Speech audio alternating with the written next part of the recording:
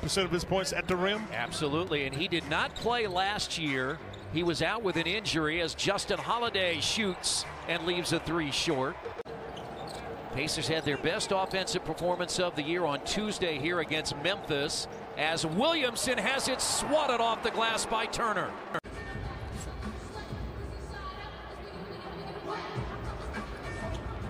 And the Good Pacers, read. Yeah. Ingram could go catch it and shoot it, and Holiday got the steal. Zone two three with out front, big. As Brogdon missed it off the rim. That's a good defensive play there by Holiday. Last three wins, New Orleans averaging 126. Step back three, Holiday. This time it's good. He's got to deal with Ingram giving up some size. He changes direction as good as anybody with that size, Chris. Battled all kinds of injuries, and he has been brilliant this year. 24 points, eight rebounds. Turner in the post, and he jumps it in over Willy Hernangomez. Uh, he he just brings so much energy and, and, and ramps up the pace of the game, which the Pacers need with their second unit. And I'm talking about at the guard spot because they've got Aaron Holiday and McConnell. What those two young men have to do, you got to get up and defend and make it hard for people to dribble. Hart is out there now. J.J. Redick for the first time, and Ingram goes to the free throw line. That's a foul on Justin Holiday. Um, they, they had Aaron Holiday just got too far away from him. And now Holiday tries to match. Stepped And- out of bounds. Yeah, you see right there, McDermott tried to turn the corner. He hit Williamson and had nowhere to go. Aaron Holiday has missed his first two threes. And now Lamb. Holiday tries for a third time and still can't get it to go. Really good find. Really good find. Pacers ball. It, it was a good find by McConnell to get the ball to the other side too. But Shaq doesn't have nearly as quick feet as uh, Zion does. That's what makes Zion so effective. Brogdon got the rebound, and the Pacers get another look. Good help because he's spinning out. If he spins out, you got to watch this one. Oh, he missed it. Well, because it partially got blocked by Goga. by the way, as he went low and he could feel uh, from behind. Brandon Ingram had it swiped away. Then they'll chase you over the screen and you got a chance to drive it. Ingram misses. Well challenged. also have a turnover. They shot 58% in the first half. And now Turner is open for three. Great effort there. Justin Holiday out of the other corner. And now Turner is open for three. Great effort there. Justin Holiday out of the other corner. Pops that one. And that's why Stan Van Gundy takes the timeout. And who thinks that's good? Oh, it's tough. Oh, okay, yeah. But listen, that's why you're in this this Yep. deal. Um, They have just bottled the Pacers up. And finally, a basket by Holiday. that one, this was running the play here. Holiday again for three. Got it. Okay, it worked out. But Doug McDermott was running the play when he had a shot, and it'd be good to get him going. Yeah, that's how you get the shot. Mean, oh, there's no way. I'm looking at Hernangomez. Was he the one pushing?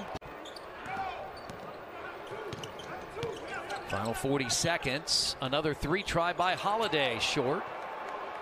Pacers were 4 of 17 in the first half. They're 4 of 11 in the third quarter. And that's Goga with a nice defensive play. Holiday stepping into one again. 4 of 11 in the third quarter. And that's Goga with a nice defensive play. Holiday stepping into one again. Yeah, but give his brother Aaron the, as much credit as anything because he forced the action. Aaron Holiday, first basket. That came over the top, and Aaron was down. The screen was low, Chris. And he's hit 14 of his last 21 from the field. Rick. I feel confident when I say it, too. That's why I say it.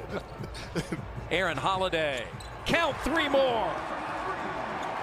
Averaging 10 points off the bench. Remember, I said back in the first half, he scored 37 this year at Staples Center against the Clippers. And he makes the defensive play to knock it out of Holiday's hands out of bounds.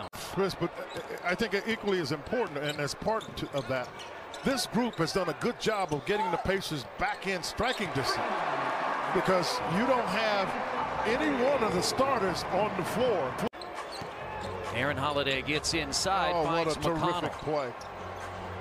He shoots Looks good. and hits a three. Third of the year for TJ. Magnified, defensively and offensively. Good play, Willy Hernangomez, but McConnell is the recipient. Baton's in the reverse. Smart play, but big guy. Magnified, defensively and offensively. Good play, Willy Hernangomez, but McConnell is the recipient. Baton's in the reverse. Smart play, but big guy. Like it. This is just Justin Holiday. He was patient. He just missed a shot. Maybe that's the answer. So Run him off the three-point line. Right. Pels and the lob for Zion. Aaron Holiday down on the block with a seven-footer like Ingram. That's the risk you take. Go work on him. Oh. Pacers ball. Oh, oh.